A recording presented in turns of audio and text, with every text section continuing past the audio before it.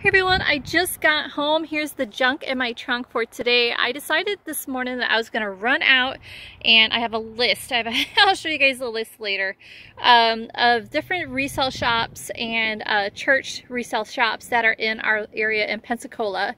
And uh, so this is what I have and what I was going to do if you guys want to I will schedule a live and I'll let you guys see what I gathered in the midst of all that um, traveling today. I think I, I made it to seven of them.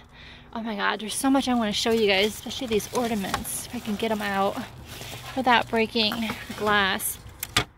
These I'm going to be filling up with uh, these mason jars with the seal lids with buttons, vintage buttons for you guys. I got two of those. They turned out really good. Yeah, here's the second one.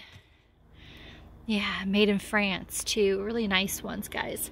All right, so I got that. This awesome basket, which I think it's already found a home. I'm not sure yet.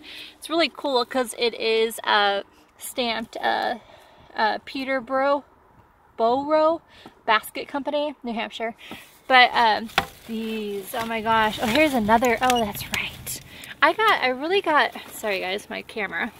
A lot of really nice um, glass jars with the seal lids, uh, like uh, canning jars.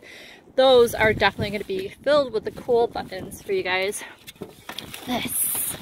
Alright, I won't go too much into detail, but looky here the strawberry shortcake ornaments that were handmade. And then we have the vintage quilted ornaments here. This whole bag filled. I can't wait to bring them out. They're gonna be awesome. Bags of bags of goodies. I can't wait to get through. Ton of Christmas stuff for you guys. This is just today's uh, vintage haul that I found. I'm gonna be going out tomorrow as well. And uh, so it got a lot of really cool books this time, especially Christmas.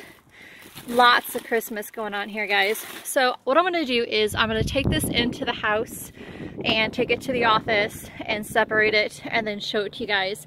I'm gonna do a live, um, you know, a resale shop uh, haul kind of thing. But there's so many cool books, especially these here, which I fell in love with, is Jane Eyre and uh, the other one is Wuthering Heights. But um, I think it's 1940s. Really, really cool. This one, the binding's kind of getting loose. 1943. Okay, so yeah, I have a lot of really cool things. I can't wait. Oh yeah, that's right. I forgot to tell you guys. I did find some more feedsack fabric. Uh, here we go. Yeah, I literally, I have been gone all day. So I can't wait to do this tomorrow as well. So tonight, I do know, either tonight or tomorrow, expect me to do a pop on junk in my trunk live sale. Not live sale, gosh, my brain. Uh, live showing of what I got going on here.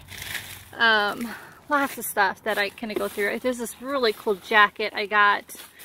So much I want to share um, I will share with you guys that then and there. Um, I can't wait.